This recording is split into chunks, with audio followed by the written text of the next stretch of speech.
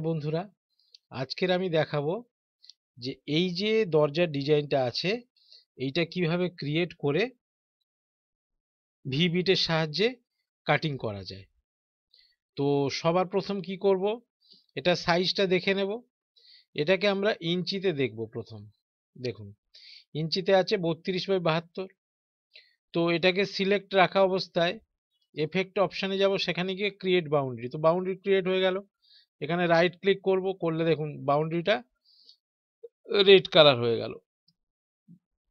এবারে কি করব?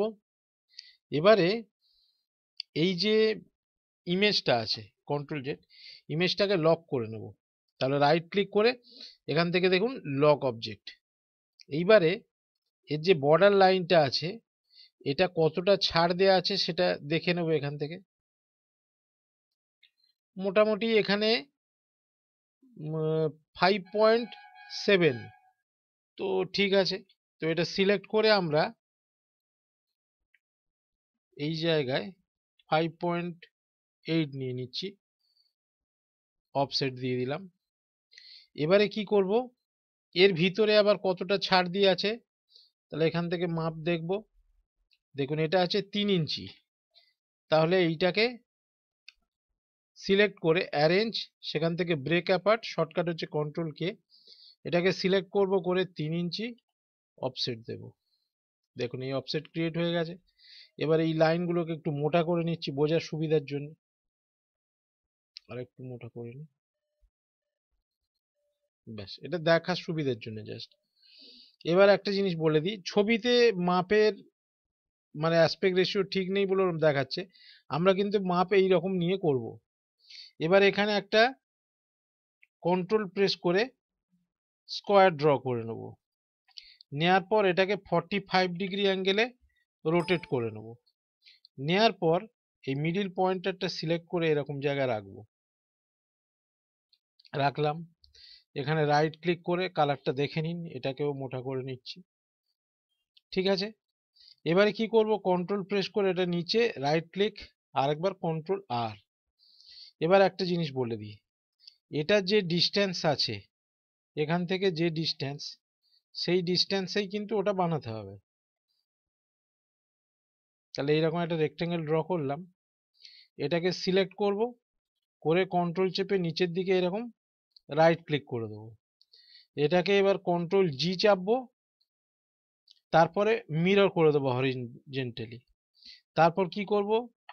এই জিনিসটাকে সিলেক্ট করে অ্যারেঞ্জ এটাকেও ব্রেক অ্যাপার্ট এবারে এইটাকে আবার সিলেক্ট করে, দেখুন এই কালারটা দিই তাহলে বুঝতে পারবেন। সিপ প্রেস করে বি প্রেস করে দেবো। তারপরে কি করব? এই কর্নারটা ধরে এটাকে সিলেক্ট রাখা অবস্থায় এর এই কর্নারটা ধরে এই রকম রাখব।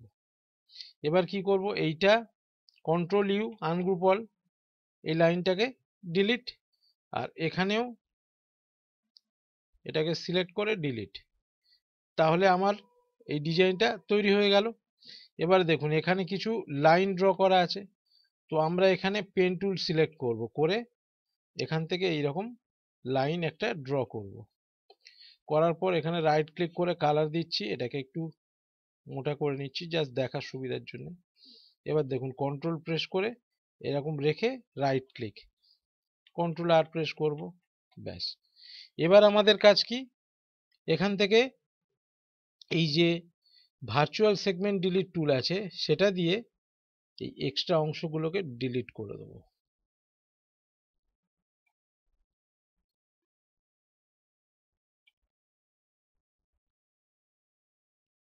বেশ এইবারে আমরা এই গোটাটাকে ধরে এখানে সরিয়ে রাইট ক্লিক করে নিচ্ছি।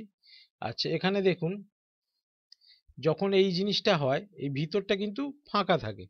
সেটা কীভাবে করব? এখানেও ভার্চুয়াল সেগমেন্ট ডিলিট টুল দিয়ে এরকম ডিলিট করে দেবো।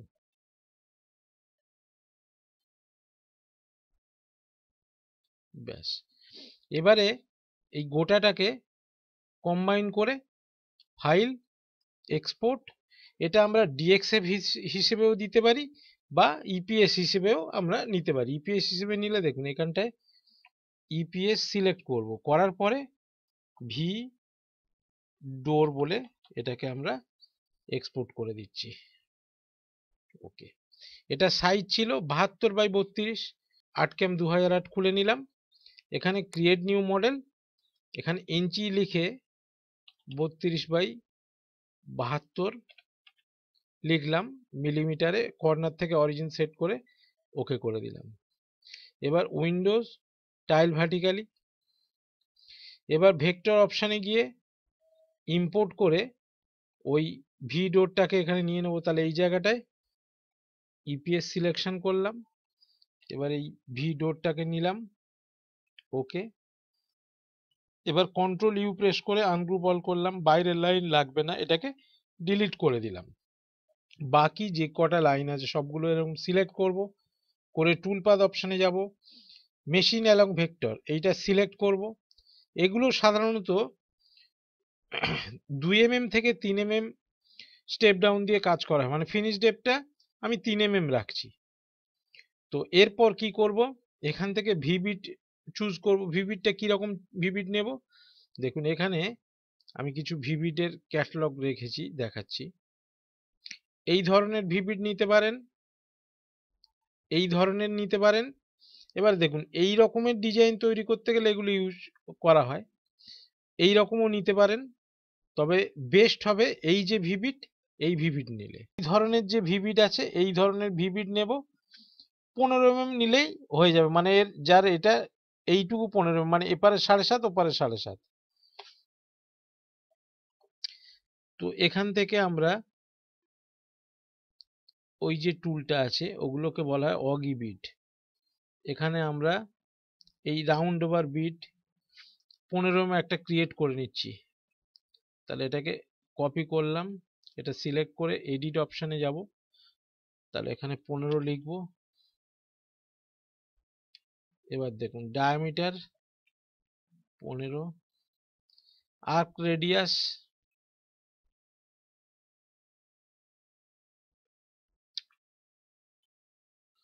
আর্ক রেডিয়াস সাড়ে সাত থাক বা সাত এম, ছয় এম এম থাক। আচ্ছা ইনার ডায়ামিটার তিন এম ঠিক আছে। স্টেপ ডাউন আমরা তিন এম একবারেই কাটবো। ব্যাস, বাকি যা আছে এরকমই থাকবে। ওকে সিলেক্ট এবারে সেট আপ অপশানে যাব। এগুলোর ক্ষেত্রে সাধারণত পঁচিশ তিরিশ এম মেটেরিয়ালের ওপর কাজ করা হয়। ধরুন পঁয়ত্রিশ এম এম মেটেরিয়ালের ওপর কাজ করব, তাহলে পঁয়ত্রিশ লিখে ওকে করব। এরপরে নাও অপশানে ক্লিক দেখুন টুলপাথ ক্রিয়েট হয়ে গেছে।